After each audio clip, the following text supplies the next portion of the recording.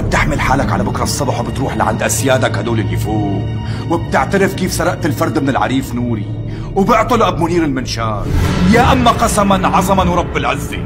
بروح أنا بذات نفسي لعندهم وبدلن على اللي اشترى الفرد من أب منير المنشار. وأب منير بيحكي لهم شلون اشترى الفرد منك ساعتها أنت على مالها بتقعد بتمثل لهم شلون سرقت الفرد من العريف نوري.